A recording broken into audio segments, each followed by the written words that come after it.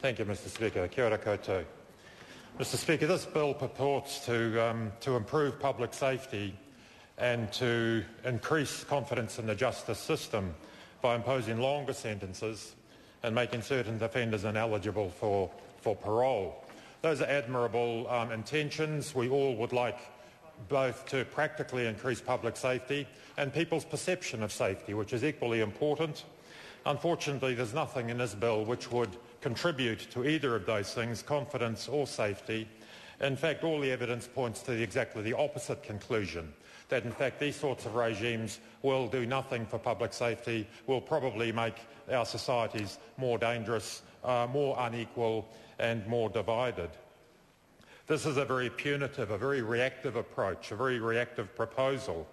And for a host of reasons that have been alluded to, this bill is unlikely to have any real effect, and it cannot have any effect for at least another 10 years, even if it were um, imposed in legislation.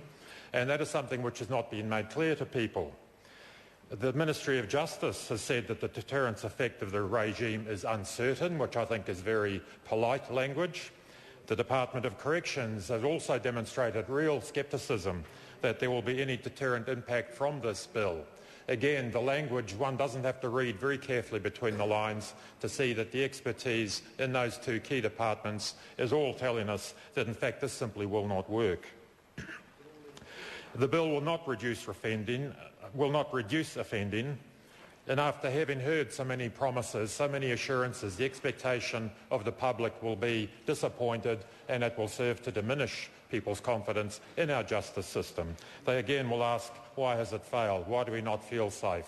Why are the, crime, the crime numbers not telling us we're in a better situation?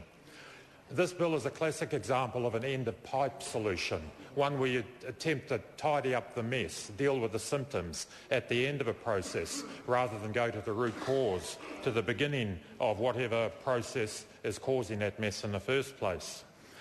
Putting focus on locking offenders away for longer and giving them tougher time while they're in there is simply an exercise in storing up trouble Eventually, these offenders will be released after, be it 5, 10, 20 years, however long. With a very few exceptions, people will come back into society, so alienated, so brutalised, that they will be almost impossible to reintegrate. We are literally storing up trouble for ourselves by putting people, serious offenders, in prison for longer and treating them in this way that's proposed in the bill the time and effort that's been frittered away on this non-solution, this attempt to put a band-aid on a gaping wound, would be much better spent on some of the real solutions.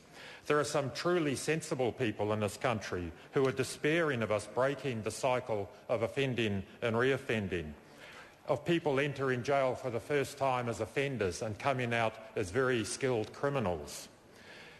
We share in the Greens with so many in the communities who do not share this obsession with retribution and punishment for its own sake.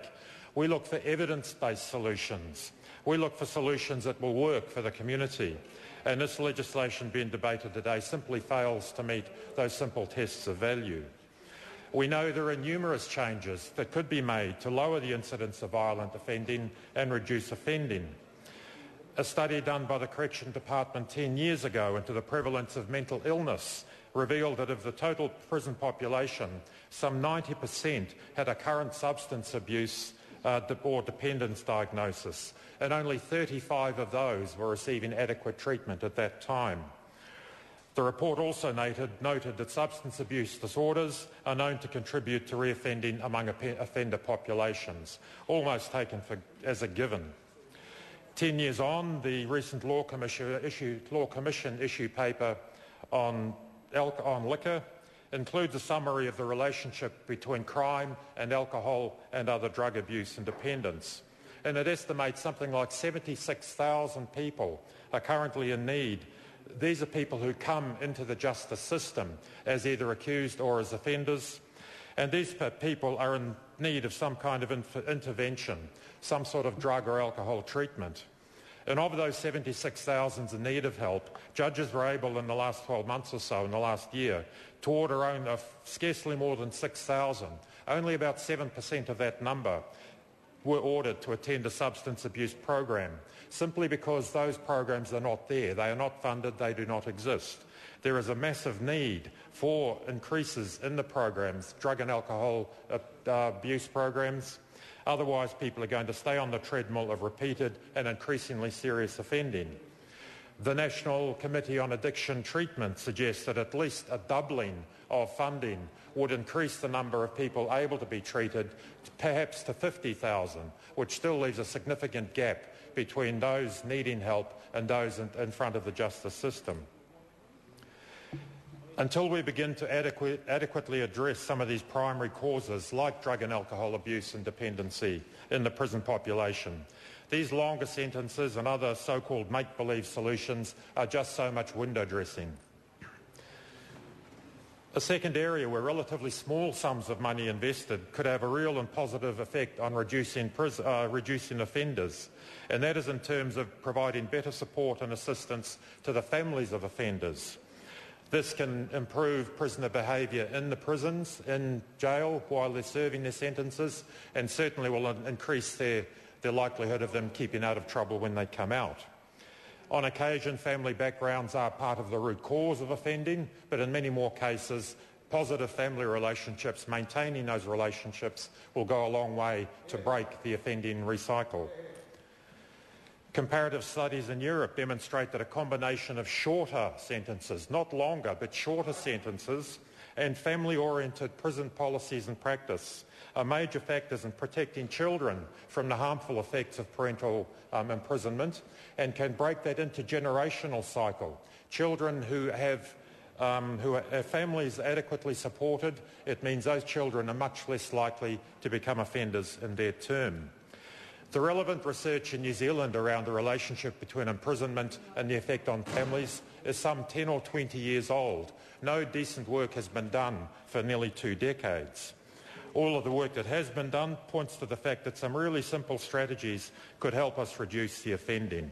Small amounts of financial assistance with travel, improving prison visiting conditions and facilities, information on prison protocols being made available to families. There's no current research, but the anecdotal evidence is overwhelming that from the, the base, the organisations, the voluntary and community organisations working in this, that very little has changed in the last two, uh, two decades. I've spoken personally to families of inmates, as I'm sure others in this House have, and you hear the same stories again and again. Even for people who are educated, confident in dealing with bureaucracies and government departments, people who are resourced, people who have jobs and incomes. Even for those people, it's incredibly difficult for them to get basic information about often where their family member is. What, in what ways can they assist them? How can they maintain a relationship with these people? It is um, exponentially more difficult for someone from a disadvantaged background, somebody without an education, without an income, with um, dependent children on a benefit. It's almost impossible for those people to break through those barriers. And I've heard that from the families of, of inmates, and I've heard acceptance of the point also from corrections officers, people working in the system, working in the prisons. And it's time that we put some real resource into those areas because those are the real solutions. Lock them up, throw away the key is a 19th century approach. It's not worthy even of our attention. It shouldn't become before this House. My final comments I was make would be, again, comments I'm sure have been made elsewhere and will be, that the process of getting this bill to this stage has been suboptimal, to say the least.